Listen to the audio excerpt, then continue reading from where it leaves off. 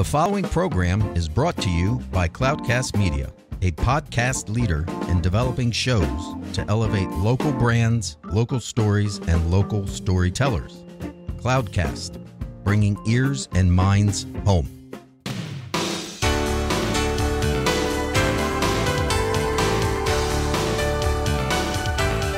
I'm Drew Schlossberg of Cloudcast Media, and we are so pleased to have in the studio with us. Uh, hopefully, this is not the only time he'll be in the studio with us, uh, Jill. Be uh, many more, and that is Jill Hall.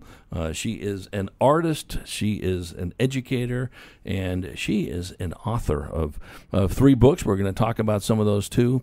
And uh, full disclosure, uh, Jill and I have uh, known each other for quite a while, so it's uh, it's good seeing you, Jill. Great to see you too. Thanks for having me. First and foremost, I hope everybody is safe and healthy in this COVID nineteen era. Yes. They gl- are. Yeah, Yes. gl- yeah. I'm glad- to hear I this. am, and my my friends are right well, that- now. that's right. Yeah, that's important. Um, talk a little bit about your background as an educator, and then how it weaved into becoming artist and author and everything in between. Okay. Well, um, my calling had always been to be a teacher. That was from the young age. That's what I wanted to be, and so um, I went to school and um, got all my licenses, and then I became a teacher for the school district. And I worked for over 20 years in inner city schools, Well, great. mostly um, elementary and middle school.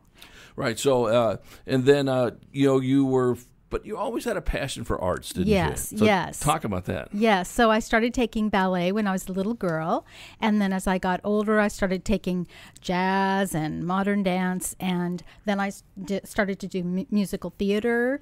Uh, uh, shows and uh, community theater and some semi-professional and just really loved it and then um, as i got older i became a mosaic artist and i use found objects in my work uh, and that that's So, my a found object artist. is just what it sounds like. You found these somewhere, yes um, like in the street or in your yard back. sales Oh, funny. Okay. and um, thrift shops. Sometimes I'll pick up something from the street, Right, and now right. I get offerings. So I'll come home and there'll be a bag on my front step, and I'll open it up and I'll say, "Oh, that's so and so's dishes uh, that I've had dinner at their house, and this is."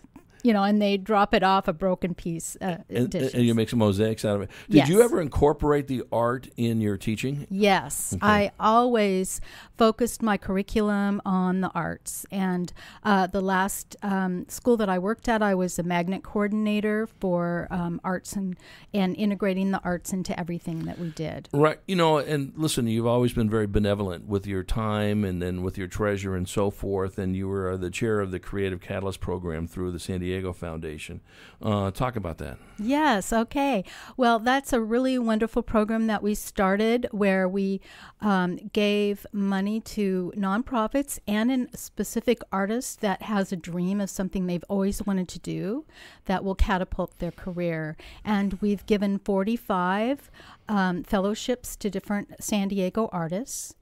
Um, and then recently, when COVID hit, uh, we were getting ready to launch another um, group of artists, and instead we took um, the money and we rolled it into a fund so that we could support nonprofits and their workforce at this time. Right, because uh, it uh, was sort of a quadruple whammy, certainly on the space of visual performing arts, wasn't Yes, it? it's, COVID, it still is. It Yeah. still is. It's a, it's a very, and, and our artists are doing, are ha- really, really struggling. Right, right, right. Um, so I know that's uh, very important. You've been raising money. Uh, there was a uh, stories in the paper about uh, what you folks are doing, and you know one of the folks bring a lot of uh, her guests on our show, Susan Clausen. Matter of fact, had one on today, Tonya Mantooth, who is the uh, artistic director and uh, for the San Diego International Film Festival. And so, Yes. um, but Tonya had a story in today's paper, and Susan and the Theater Alliance Group was featured a couple days ago in the paper. So,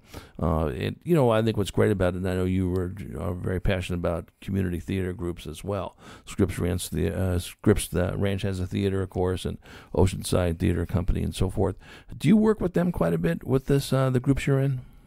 Well, we give grants to Right. any um, any of the organizations in the county that apply. So um, if they qualify, and then there's a panel that looks looks at it to decide. Now for phase one, we Right. gave two hundred and fifty thousand dollars to um, thirty-two different organizations. Right. Uh, so we had a, a large amount of money we raised, and now uh, for phase two, we're raising money for BIPOC artists, individual artists that are really struggling, and the money can be used for their um, either their housing or their food or rent. Um, and then there's a, a panel that will be making that decision. And then we'll also be working on a third phase that uh, coming up soon. So, if our listeners want to help support those efforts, is there a website they should go to? Yes. Yeah. Um, look up Sandy, San Diego Arts and Culture uh, Challenge okay. Fund. All right. Just Google that, and then they can be able to contribute because Yes. you know anyone who's been touched by the arts, and that's a lot of us, of course, Mm-hmm. want to uh, make sure that helping out those, especially those artists that are struggling, that Yes. everything's been shut down. I'm Drew Schlossberg of Cloudcast Media, and we're chatting with uh, Jill Hall. She's an artist and an educator and an author, which brings us to uh, my next topic over here. Uh, three books, best-selling books. Congratulations on that Thank you. when did you when was the epiphany that hit you that i need to become an author or was there one Well, I, I had been teaching for over 20 years. Right, and right. then um, as the arts, the pendulum swung and the arts weren't really popular to, to uh, from the district. So I decided to take some they should have been by the way if i can get, get Oh, in my yes. little soapbox here Yes, you and me both. That's right. you know, and so Right. I left the district for political reasons because I didn't think they were making decisions that were good for children. right right And so um, I had uh, at that time started to really work on my mosaics, and then I wanted to write. I just all of a sudden it just hit me. I wanted to write, and I thought I would write children's books or maybe a memoir about being in the classroom. And so instead, I joined a group, and characters started to appear, appear on the page from nowhere. And I just kept writing because I wanted to find out what was going to happen with them. And uh, so out of it came uh, my first novel, uh, The Black Velvet Coat. And uh, then my second novel, when I was almost finished with that, it was getting ready for publication. My second novel started to appear, characters from nowhere, and I just have kept going. you know it's funny when you said it came out of nowhere or they came out of somewhere like uh, your head right and through your experiences i mean they just don't appear somewhere right Well, I write everything by hand, and so I call it the the heart hand connection. So I don't use my head; I use my heart to write, and so it's it's in, I call it intuitive intuitive writing. so okay is that a term you just made up or I, other people have used it, but um, yes, and so some of us, and it, it's starting to become more right uh, popular over time. Right. So yours is a trilogy, is that correct? Yes, it is. Talk about that. Yes. Well, uh, all three of my books have Anne, a San Francisco artist, and she makes mosaics and artwork with found objects. Surprise, surprise. And um, she your alter ego? What? Is she your alter ego? I don't know. Sometimes she you have to read the book and find out. Right? Well, yes. So her um, in each of the books, she buys a vintage find, and then it's also about a woman from the past who originally owned that. Uh, vi- that vintage find. right. And so in the black velvet coat, she finds a black velvet coat in a thrift shop. And then it's also about the woman from the noir 1960s who originally owned the coat. And then in the silver shoes, she is in San Francisco and she buys a pair of silver shoes. And in it's uh, the woman who originally owned them was a debutante in the 1929. Okay. And when the stock market crashes, she becomes entwined in the world of burlesque. And uh, in that, it was fun because I got to use my theater experience Sure, sure. to tie that in. Sure. And now um, my next book is coming out in October. Uh, the Green Lace Corset. And uh, Anne goes to Flagstaff, Arizona, and buys a green lace corset outfit in a resale boutique. And it's also about Sally Sue Sullivan, who is kidnapped on a train by a bank robber and taken to the Wild West in Flagstaff, and there she sees um, saloon girls and starts to fantasize what it might be like to wear, you know, a wild outfit like a green lace corset outfit. Do you have one? Yes, I do. I had I my corset. I had a costume designer make it. I was going to say. And it's on the cover of my book. In fact, all three of the items on my book covers I actually sent to the East Coast to the cover designer, and she photographed them and put together the the covers. And so yeah, I have a whole outfit, and uh, yeah, and it's real with a saloon skirt, and I wear my boots and fishnet stockings with it. It's really fun. Very, and, very, very. Yeah. So, are you doing? We're chatting with uh, Jill Hall. She's an artist, former educator, and an author of three uh, uh, books, uh, two best-selling, and we're very confident the third one will be uh, best-selling as well. Where do they get their books on Amazon? Uh, they can get their books um, anywhere books are sold. Okay. I always recommend, if you can, to buy from your independent bookstore. That makes sense. And if they don't have them in stock, they're happy to order them for you. And I really, we really want to keep our independent bookstores. Absolutely. So that's, I mean, you can get them everywhere books are sold. right. Um, and they're on um, ebooks also. right. So Jill Hall, just look on that, and you'll see the the books here. So the Jill Jill G Hall. excuse me, Jill G, G Hall. Hall. I don't want to get. I had to differentiate myself Oh, from yeah, other Jill well, Halls. There's probably a lot of Jill Halls Lots run- of them. running around the world. Not Mhm. that many Drew Schlossbergs, and let's be thankful for that. Uh, you know, so Jill, um, the book that uh, the latest book, so it's not out there yet. October they'll come out, right? It's available now for for pre-order. Okay, So you can pre-order it, and But then it will can't it. come yeah, yeah. really soon In Uh, October. In October, Yeah. yes, uh, yes, Are you doing any, you know, bookstores? Are you doing any signings? Talk about that. yes. Well, uh, COVID, of course, has put put a real Right. uh, wrench in um, doing uh, public events, and uh, so it's for me. Even though this isn't my first rodeo, because it's my third book, Right. I'm um, really being challenged uh, to figure out how to get the word out there and celebrate with my friends. This is my one way of doing it right here. Thank and you. so, yeah, and this is one way. Thank you, Drew. Of course. So, um, my first event will be virtual, and it's with Warwick's on the 24th of October at 4 o'clock. Okay. And we're doing it at 4 o'clock because then the good thing is my friends and, and family and readers from across the country can join us because it'll be virtual. And I have a lot of fun things planned. I have special guests that are going to be joining us, and I'll be talking about my books and showing pictures and, of my artwork uh, that have actually uh, have been inspired by the uh, the green lace corset, and um, and then I'm going to be doing also an event in November with the um, Point Loma Library Yeah. and La Playa Books. They're going to collaborate, so and that'll be virtual Right. also. And do you have a website? yes, uh, JillGHall.com. Okay, we come back from break. We're going to chat more with Jill G. Hall, uh, the uh, artist and uh, former educator. I guess you're always an educator and Mm-hmm. author, of course. Um, one of the things I want to dive into when we come back from break, uh, Jill, is what advice would you give to uh, burgeoning writers? I know you're involved with San Diego Writers Inc. and do a lot of workshops yourself. Um, everyone, uh, I think, I shouldn't say everyone, but I know a lot of people. I want to be the next novelist and all that. And you became it in that aspect. So we'll chat about that and then, you know, also maybe go back to the art uh, work that you do and get people to get engaged with that. All right? We're going to be right back with Jill G. Hall. Uh, I'm Drew Schlossberg of Cloudcast Media. You're listening to another edition of Spotlight on the Community.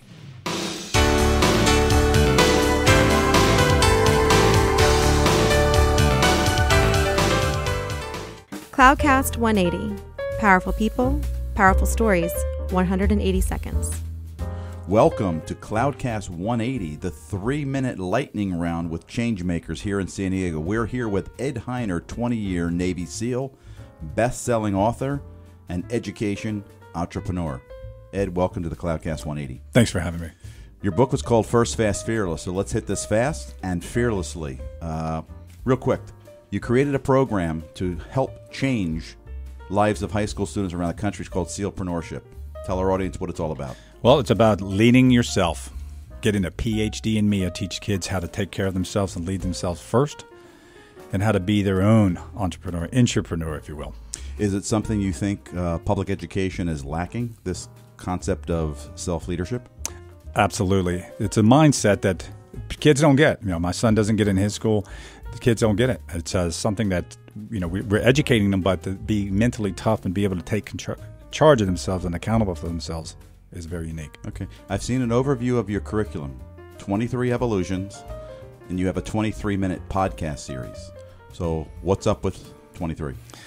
Chromosomes, right? It's all in all of us. We're all the same. 99.9% of everybody in this world is the same. And we use those chromosomes, 23 pairs, which was one of the concepts we teach as swim buddies never be alone. Always work with someone else, collaborate, and be out there. Boy, that's a lesson for life for sure.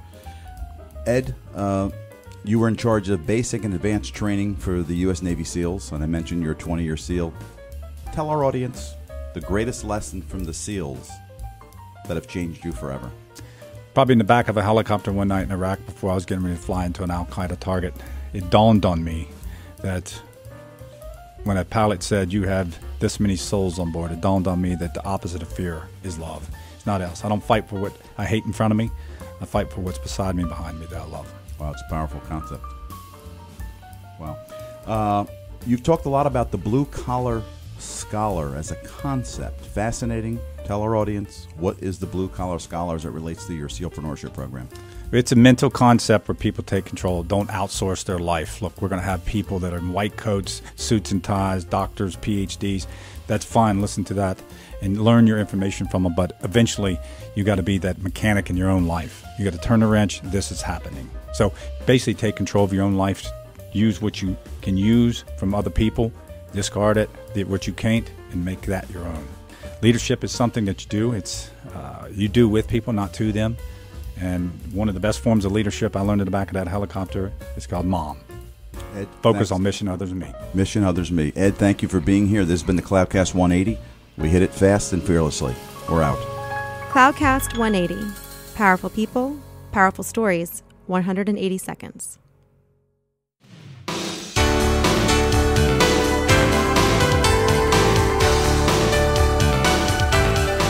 I'm Drew Schlossberg of Cloudcast Media, and we are back with Jill G. Hall. She is an author. Her latest book is coming out in October, The Green Lace Corset. It is the third of a trilogy. Uh, it, well, let me ask you this. So, if that's the th- trilogy, are you done with these now? Yes. So, are you going to go on to your next trilogy? I'm working on the next book Okay, right. That's not part of the trilogy. I don't think, but you never know what's going to happen. That's right. But this trilogy ends with. Uh, I think so because I think I finished Anne's story, who's in all three books. Okay, but you never know. The ant can always Yes. come back somewhere down yes, the road. and also I want to point out Yeah. that I write them as standalone books, so you don't have to read the first book to be able to read the second and Nice, third book. What I tell people is to read the read whatever era um, interests them most, and then if they like, they read the third book first. Then they can go back, and if they like my writing, they can go Sure. back and read the first one as a prequel. Are the is the writing very similar in all three? Well, it's my voice, Right. my writing style, but they have a different. Fl- each one has a different flavor right, to right, it. right, exactly. So you know, we talked about you know your experience as an educator, of course, your passion for art, dancing, ballet, and all that business. uh, Certainly led a lot of the ideas that you got in the book over here. Um, so, what advice would you give to people that at any age, you know, whether they're in high school, whether they're in middle school, or whether they are retired or anything in between, if they want to become writers, what's the best advice? Um, find your tribe. Find other writers, uh, people that you can can write with in community, or that can help you with your work. Find a mentor. Um, I we're really lucky in San Diego because we have San Diego Writers Inc., which Right. is a nonprofit for writers, and um, I'm an instructor there, and we have all sorts of classes and workshops for lots of different types of writers, and uh, and right now, and it's, we're based at Liberty Station, but right now we've um, are teaching everything online. I was going to say, right? And we have a lot of Zoom classes. And I teach a class on Tuesday. It's a drop in writing class. It's only $5. Right. And we do intuitive writing. nice. So, yes. So, how would you define intuitive writing? So I define it as letting your heart uh, hand connection. I don't use a computer. I write first of all with in my journal Really? uh, by hand the first draft. The And- whole first draft. Yeah, the first draft, it's all out of order.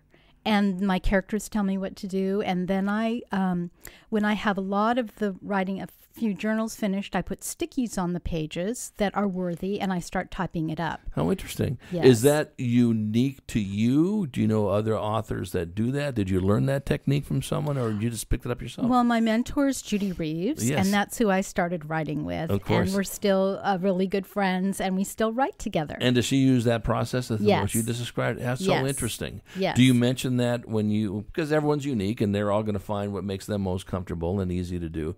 Um, have you seen other people that have been in your classes that now take that approach? Yes, yes. Right, right. Uh-huh. Because everyone's got a different Yes. way of uh, a, Uh-huh. a style of writing. And we all, we all, it, that's what works for me. right. But everyone has their own their own style. A lot of my friends that are writers have to have an outline or they can't start. And Right. some writers need to know what's going to happen at the end Sure, before they start the book. But for me, Right. if I knew what was going to happen at the end, I wouldn't really want to keep writing. Yeah, yeah. It's no, it's all individual. You're absolutely right. We're Mm-hmm. chatting with Jill Hall. She is uh, the author of a trilogy of books, one that's going to be coming out in October. Uh, uh, shout those dates out again, where you're going to be uh, doing some virtual book signings, so to October speak. twenty fourth at um, at four o'clock through Warwick's, and you can go to their website. Uh, they already have the link up there, or you can also go to my website,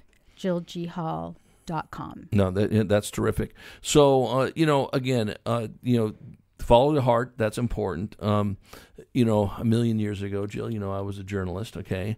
And people would always ask me, you know, how did you get into this and why and what advice do you give? And I was a sports writer uh, for a small biweekly for several years up in uh, North County and a columnist. And I said, listen, um, depending on whatever you want to write about, uh, read. You got to be a reader. And, you know, I started mine because I couldn't read enough in the LA Times sports section where I grew up in, in LA. And I just read and read and read and read, and that was my passion. Um, did you do you do a lot of reading? Oh yes, I always have a book on my nightstand. I read every night. Right. Um, sometimes I'll take a break and I'll sit in the afternoon and and read a chapter. Um, I'm always reading, and I mostly read uh, novels because I'm a novelist, Right. and historical fiction is my favorite Right. Um, because I have my books are actually dual timeline, so I have someone from the present and the past Right. In the books. in the, my books. Right, yeah. right, right. But when I read, I read all sorts of books, but mostly novels. Will you continue that moving forward? You think always have dual timelines in your books?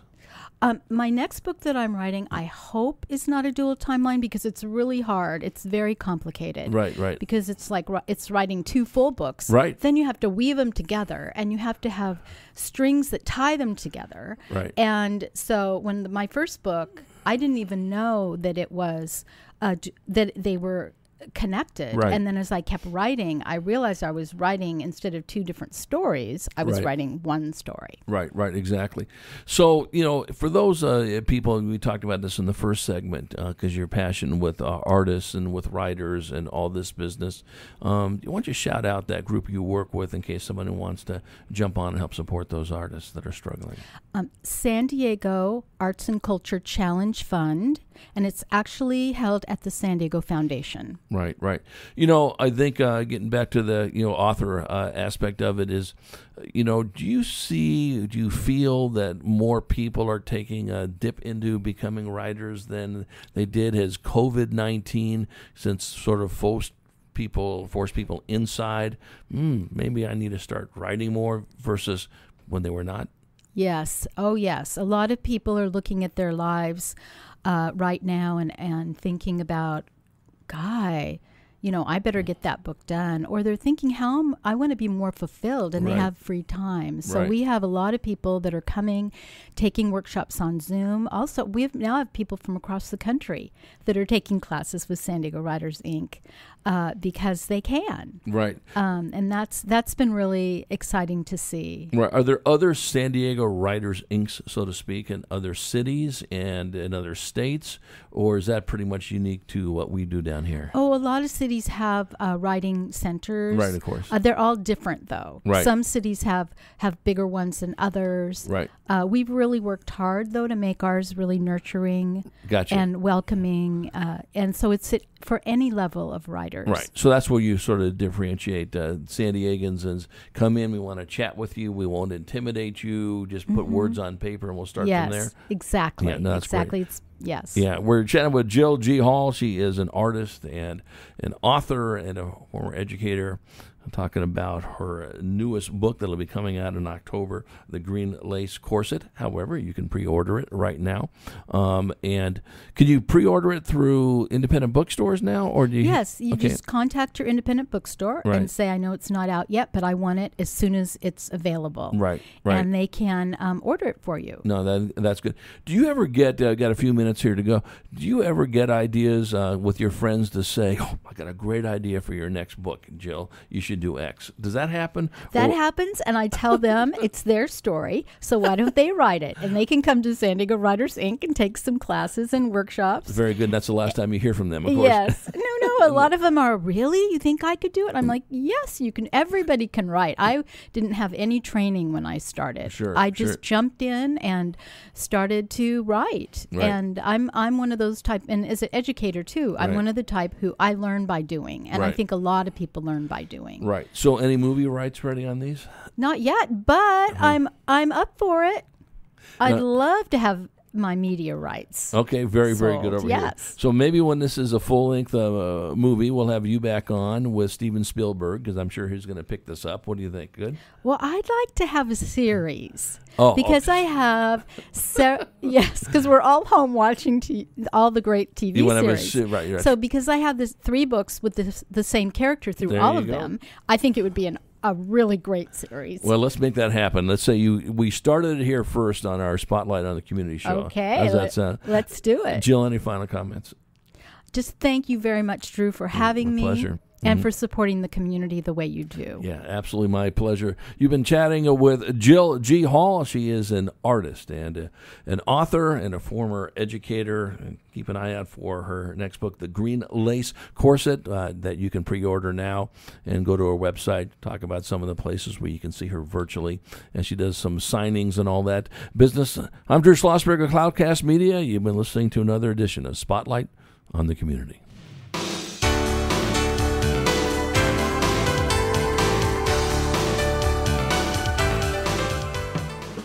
Thank you for listening to a podcast from Cloudcast Media, the digital media home for leading local brands. When it comes to amplifying your brand, a Cloudcast sponsored show offers unbeatable value. Learn more at cloudcast.us.